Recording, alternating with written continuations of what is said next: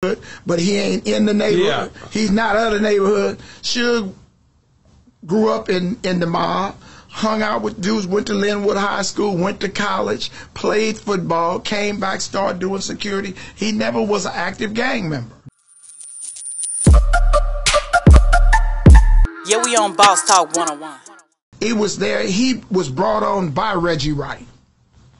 So these is Pacoima dudes. All of them is short. So I mean, Suge is damn near seven foot tall over with these little bitty guys. You know. So yeah, I, I was with him the day that he ran over Terry. The accident with you know with him and Bone and Terry. that I was I was there. You know. and- What was that? What got- was that like though? He he just ran over Terry. no, it was an accident. Terry was trying to help him. It was it was an unfortunate accident, but everything was against Suge. The murder case against media mogul Suge Knight. The truck backs up, hits one man. Seconds later, uh, the truck comes back and Wow. He he had to go. White America said thumbs down on him, and he didn't have the the acumen. He didn't have the common sense to lay low.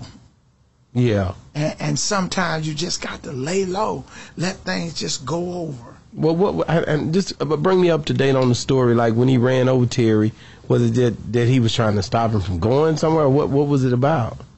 No, he uh he got into a situation with Bone. Him and uh, this dude Bone got into a situation, and uh, Suge was in fear of his life, and he backed his car, backed his truck up. When he backed his truck up, Terry jumped out the car to help him, and when Suge seen something that shook him, he put the car in drive and came and Terry ran trying and s- slipped and fell and went up under the car.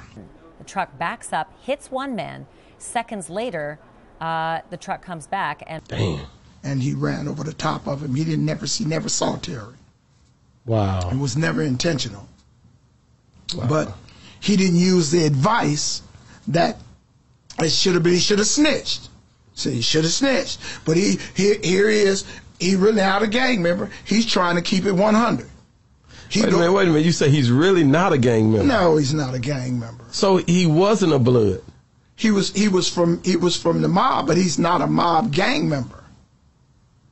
Explain that to a person who don't know. Just like brother said that he's from the neighborhood, but he ain't in the neighborhood. Yeah. He's not out of the neighborhood. Suge grew up in in the mob, hung out with dudes, went to Lynwood High School, went to college, played football, came back, started doing security. He never was an active gang member. But did he? He used to wear red all the time, and, and he I portrayed the, portrayed the image. Okay. And your point is he owned death row. That was an image, huh? Didn't you think of Suge Knight? Do you think of him as a gang member? You think or- of him, but that's an illusion. Yeah, we on Boss Talk 101.